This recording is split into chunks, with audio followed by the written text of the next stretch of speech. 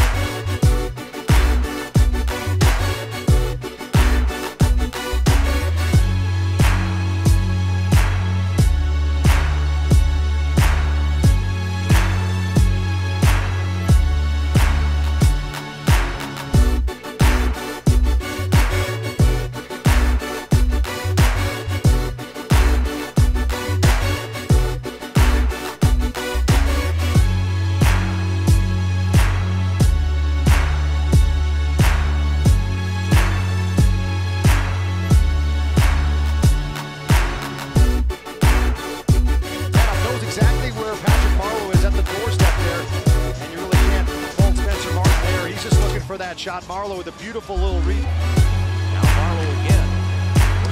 Working on. Brings it around and scores! Patrick Marleau! Patrick Marleau, uh, he got a goal. He was drafted by the Sharks so long ago, and he's breaking records. It was a nice goal for Marleau.